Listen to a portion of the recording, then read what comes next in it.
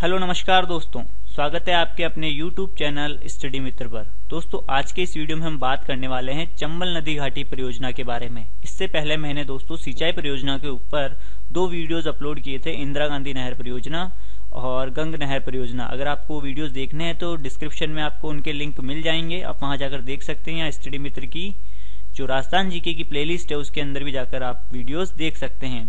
और चंबल नदी और कुछ अन्य नदियों के ऊपर भी मैंने वीडियोस अपलोड किए हैं तो आप उसको भी जाकर देख सकते हैं, अगर आपको चंबल नदी का वीडियो देखना है तो। इसमें जो हम चंबल नदी घाटी की परियोजना से संबंधित जो प्रमुख बातें हैं, वो ही डिस्कस करेंगे, ठीक है? चलिए हम इस वीडियो को शुरू करते हैं। चंबल घाटी परियोजना। दोस्तों, चंबल घाटी परियोजना जो है, चंबल नदी पर स्थित है और चंबल नदी का जो उद्गम होता है, वो जनापाव की पहाड़ियाँ मध्य प्रदेश से इस नदी का उद्गम होता है। और ये राजस्थान के छह ज़िले, चित्तौड़गढ़, कोटा बूंदी, सवाई माधोपुर, करौली और धौलपुर होते हुए उत्तर प्रदेश के अंदर, यमुना नदी के अंदर जाकर ये मिल जाती है, ठीक है? और इस नदी पर कुल चार बाँध बनाए गए हैं चंबल घाटी परियोजना के तहत, ठीक है?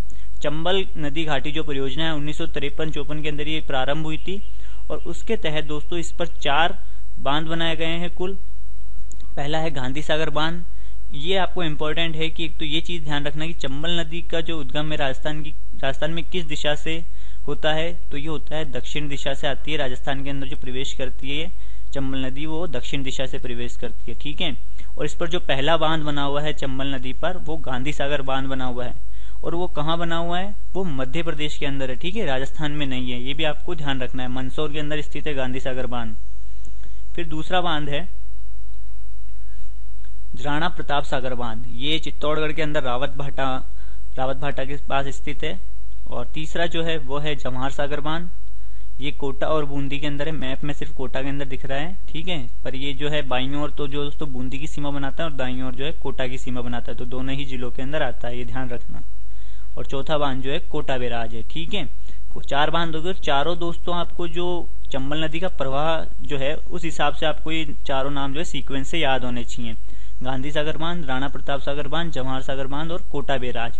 आपके पास अगर दोस्तों कोई ट्रिक है तो अच्छी बात है, अगर आपने ट्रिक से याद कर रखा है तो नहीं है तो दोस्तों एक छोटी सी ट्रिक है। वैसे तो आप डायरेक्ट भी याद कर लेना, चार ही बाँध है गांधी सागर बाँध, राणा प्रताप सागर बाँध, जवाहर सागर बाँध और कोटा बेराज ठीक है? और ट्रिक ये जो आप देख रहे हो स्क्रीन पर, गरज कोटा को है। चंबल नदी की सबसे ज़्यादा गरज किसको है? कोटा को है। वैसे तो राजस्थान को भी है और भारत को भी है, लेकिन हमको जो सीक्वेंस से याद करने हैं तो इसके लिए अपने को ये छोटी सी लाइन ध्यान रखनी की, चंबल नदी की जो गरज है सबसे ज़्यादा किसको है? कोटा को है। तो गांधी सागर बाँध आ जाएगा गै से रे से राणा प्रताप सागर, जय से जवाहर सागर और कोटा से कोटा बैराज, ठीक है? और ये दोस्तों जो परियोजना है, चंबल नदी घाटी परियोजना, ये राजस्थान और मध्य प्रदेश की दोस्तों इसमें पचास पचास प्रतिशत की साझेदारी ठीक है? तो दोनों जो है बराबर के हिस्सेदार है इसके अंदर चंबल नदी घाटी परियोजना में। कब शुरू हुई थी ये? उन्नीस सौ तिरपन के अंदर इसकी शुरुआत हुई थी और इसका दोस्तों जो निर्माण है चंबल घाटी परियोजना पर, जो ये चारों बाँध बने ये तीन चरण के तहत बने पहले चरण के अंदर दोस्तों कोटा बेराज और गांधी सागर बाँध का निर्माण हुआ, उन्नीस सौ तिरपन में ये प्रारंभ हुए और 1960 के अंदर जाके ये कंप्लीट हो गए। पहले चरण के अंदर कौन कौन से इनका निर्माण हुआ है? कोटा बेराज और गांधी सागर बाँध का, ठीक है? दूसरे चरण में राणा प्रताप सागर बाँध का निर्माण हुआ और तीसरे चरण के अंदर जवाहर सागर बाँध का, ठीक है? तीन चरण के अंदर ये पूरी हुई है। पहले चरण के अंदर कोटा बेराज और गांधी सागर बाँध, दूसरे चरण में राणा प्रताप सागर बाँध, तीसरे चरण में जवाहर सागर बाँध। ठीक है? ये चार बाँध हो गए। जो चार बाँध है दोस्तों, इनमें से तीन बाँध जो है जवाहर सागर बाँध, राणा प्रताप सागर बाँध और गांधी सागर बाँध। इन तीनों पर तो जल विद्युत ग्रह स्थापित है, ठीक है? और जो कोटा बेराज है, इसको कोटा सिंचाई बाँध भी कहते हैं। तो चंबल नदी पर स्थित एकमात्र बाँध जिससे सिंचाई की जाती है, वो है कोटा बेराज। ठीक है, जवाहर सागर बाँध जो एक पिकअप बाँध है, इससे दोस्तों विद्युत भी उत्पादित की जाती है और सिंचाई और पेयजल के लिए भी इसका जल काम में लिया जाता है, ठीक है?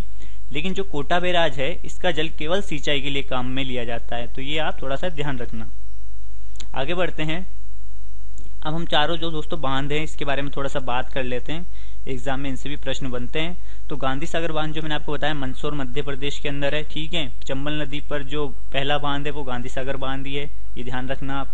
और इससे जो दोस्तों, इसके इसके जो जल विद्युत ग्रह है, उस पर 23 मेगावाट की कुल पाँच इकाइयाँ लगाई गई है, जिनसे कुल मिलाकर 115 मेगावाट बिजली का उत्पादन होता है। कितना होता है?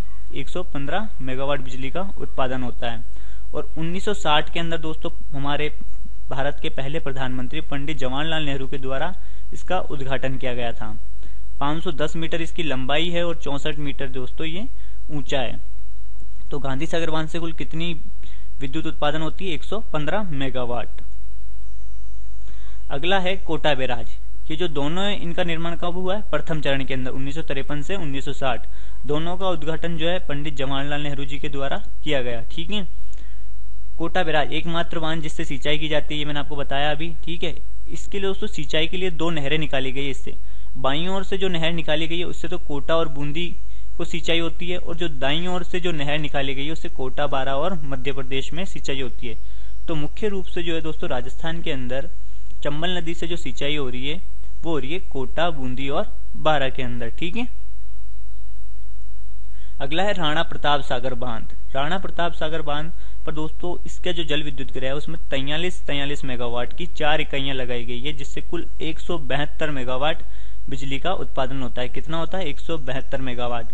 और सबसे ज़्यादा जो भराव क्षमता वाला बाँध है राजस्थान का, वो राणा प्रताप सागर बाँध है। ठीक है?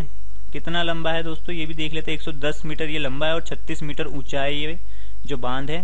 लेकिन इसका जो फैलाव क्षेत्र है, वो करीबन 113 वर्ग किलोमीटर का इसलिए इसमें बहुत ज़्यादा जल भरा जा सकता है। इसलिए सबसे ज़्यादा भराव क्षमता राणा प्रताप सागर बाँध की है। सबसे लंबा बाँध जो है वो है माही बजाज सागर बाँध है और सबसे ऊँचा बाँध जो है वो जाखम बाँध है, ठीक है? ध्यान रखना। और राणा प्रताप सागर बाँध पर ही दोस्तों, कनाडा के सहयोग से रावत भाटा परमाणु बिजली घर की स्थापना की गई, जो राजस्थान का पहला परमाणु बिजली घर है। दूसरा जो है बांसवाड़ा में स्थापित किया जाएगा। और देश का, भारत का ये दूसरा परमाणु बिजली घर है। पहला जो है तारापुर, महाराष्ट्र के अंदर स्थित है। ठीक है? अब चौथे बाँध के बारे में भी हम बात कर लेते हैं। ये एक पिकअप बाँध है। और यहाँ इसका जो जल विद्युत गृह है, उस पर 33 मेगावाट की कुल मिलाकर तीन इकाइयाँ लगाई गई है, जिनसे निन्यानवे मेगावाट बिजली का उत्पादन होता है। ठीक है? तो चंबल घाटी परियोजना के तहत दोस्तों कितने बाँध? चार बाँध है, गांधी सागर बाँध, राणा प्रताप सागर बाँध, जवाहर सागर बाँध और कोटा बेराज।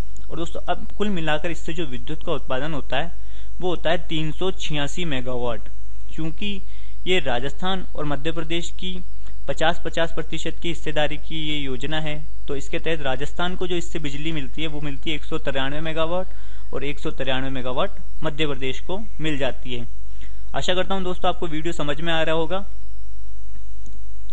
अब दोस्तों, ये तो प्रमुख बातें हो गई। अब इससे हम दोस्तों जो क्विज बन सकता है, जो प्रश्न बन सकते हैं, वो मैंने लिए, ज़्यादा नहीं है, थोड़े से ही है। चंबल घाटी परियोजना पर स्थित कौन से दो बाँध जो राजस्थान के अंदर स्थित है?